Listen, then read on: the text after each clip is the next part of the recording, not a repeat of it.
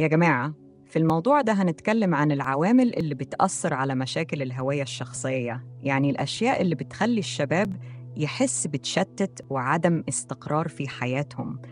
بينتمينا العوامل دي للضغوط الاجتماعية والثقافية يعني الضغوط اللي بتيجي من المجتمع والأسرة والأصدقاء وحتى وسائل التواصل الاجتماعي. بعد كده لازم نتكلم عن التغيرات الهرمونية والنفسية اللي بيمر بيها الشباب في مرحلة الشبابية دي اللي بتسبب مشاكل في تحديد الهوية والشعور بالتشتت. وطبعا ممكن يكون في ضغوط أكاديمية ومهنية كمان. يعني الدراسة والشغل بيكونوا عوامل تانية بتأثر على الهوية الشخصية للشباب.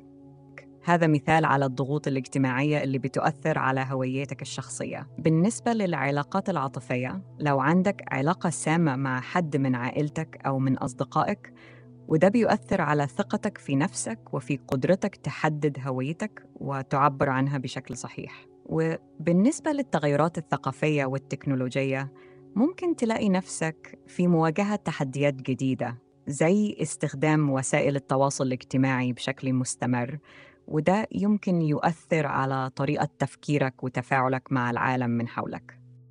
عشان نتغلب على العوامل دي ونتخطى مشاكل الهوية الشخصية بكل سهولة أول حاجة لازم نعملها هي إننا نبدأ نفكر في ذاتنا ونعرف نحدد لنفسنا قيم ومبادئ واضحة.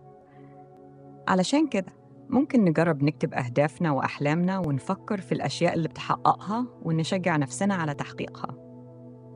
تاني حاجة لازم نحاول نبني علاقات إيجابية مع الناس اللي بيحيطوا بينا عشان مهما كانت الضغوط الاجتماعية الأصدقاء والأهل اللي بيدعمونا وبيقدموا لنا النصيحة الصحيحة دي هم اللي هيساعدونا في التغلب على التحديات.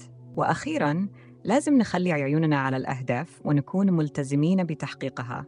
ونستخدم التكنولوجيا بطريقة مفيدة لتطوير أنفسنا ومساعدتنا في التواصل مع الآخرين بشكل إيجابي. باختصار، بالتركيز على تطوير الذات وبناء علاقات صحيحة والتمسك بالأهداف، هنقدر نتغلب على أي عامل يواجهنا ونحقق نجاحنا في حياتنا بكل سهولة. وفي الختام نقول سبحانك يا رب وبحمدك أشهد أن لا إله إلا أنت أستغفرك وأتوب إليك.